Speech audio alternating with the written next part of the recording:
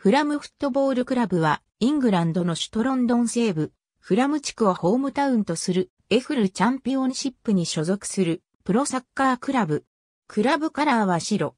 日本ではしばしば、フルハム、フルアムと紹介されることが多いが、ここでは、フラムで統一する。1879年に創立。ホームスタジアムは西ロンドン、テムズ川沿いに本拠を構えるクレーブンコテージ。同じ西ロンドンに本拠を置くチェルシー FC とは距離にして数キロ、ロンドン地下鉄の駅で2駅しか離れていない。チェルシーとの縁は深く、1890年代に建設された現在のチェルシーの本拠地スタンフォードブリッジは、もともとはフラムの本拠地になる予定で竣工されたものであった。しかし金銭面で折り合いがつかず、使用は実現しなかった。その結果、宙に浮いたスタジアムの有効利用として、チェルシーが設立された。前オーナーは、イギリスのデパート、ハロッズのオーナーであったモハメド・アルファイド。1879年に、教会のチームとして発足した、フラムセント・アンドリューズが起源。その後、1888年に、教会名を外し、フラム FC という名のプロクラブが設立された。創立から多くの年月を下部リーグで過ごしていたが、1990年代後半に高級百貨店、ハロッツの経営者であるモハメド・アルファイドがオーナーになり、資金力を得るとチーム力を強化。その結果、2001から02シーズンには、ジャンティガナ監督のもと、記録的な勝ち点を積み重ね2部に相当するチャンピオンシップにおいて優勝を成し遂げ、プレミアリーグへ昇格を果たした。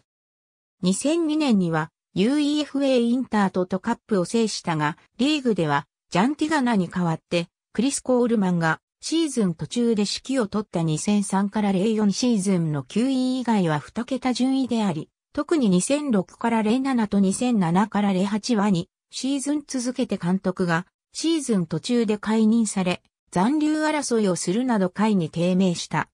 2008から09シーズンは大きな補強もなくほぼ変わらない戦力であったために、開幕前には降格候補にも挙げられるほどであった。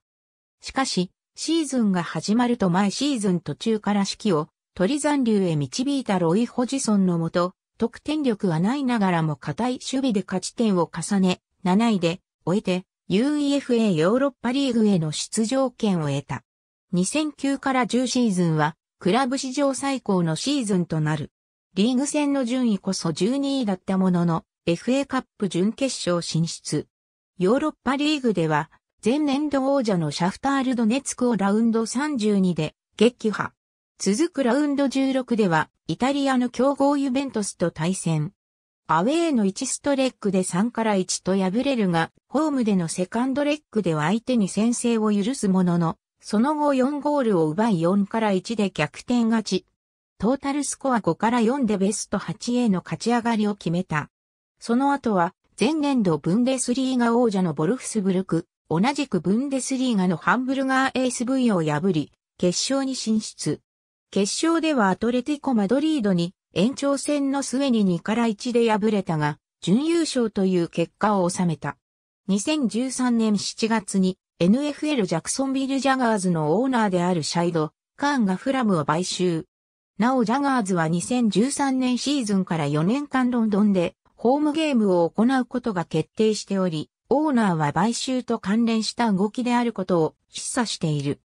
2013から14シーズンは開幕13試合で勝ち点10しか獲得できず、2013年12月1日、マルティン・ヨル監督を解任し、レネ・ミューレンステーンが就任したが、チームの調子は上向かず、シーズン3人目の監督として、フェリックス・マガトが就任した。